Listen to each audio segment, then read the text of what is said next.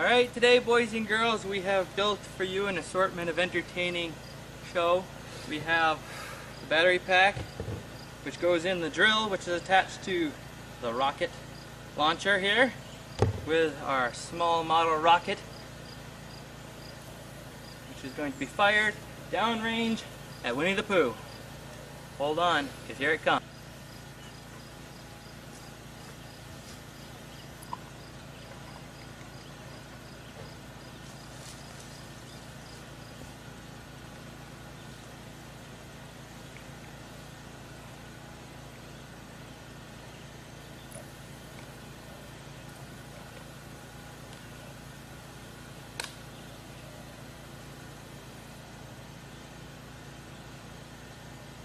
Bye bye, Pooh.